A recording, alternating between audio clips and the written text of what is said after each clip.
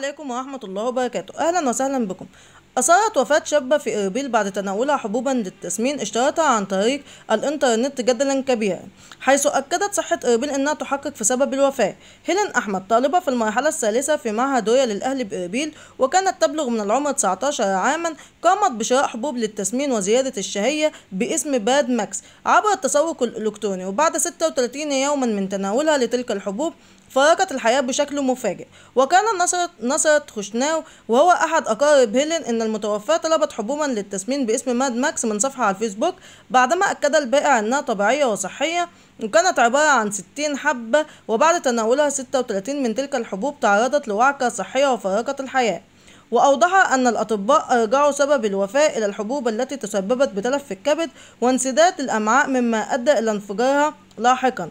من جانبها حذرت وزارة الصحة في إقليم كردستان من شراء الأدوية عبر الإنترنت بالقول على المواطنين عدم شراء أي دواء لا يحمل ملصقا من وزارة الصحة لأن ذلك دليل على أنه لم تتم إجازته من السيطرة النوعية.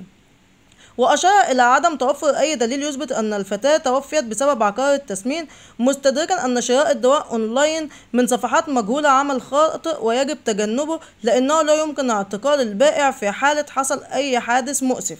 كما أصدرت مديرية الصحة أربيل بيانا تلقت شبكة رواد الإعلامية نسخة منه جاء فيه يتم الحديث عن أي عن أن سبب وفاة الشاب هو استخدام عقار تم شراؤه عبر الإنترنت.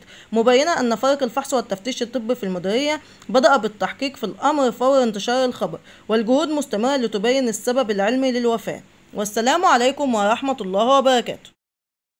السلام عليكم. لا تنسوا الإعجاب بالفيديو والاشتراك في القناة. تشجيعا لنا لنستمر بنشر المزيد إن شاء الله.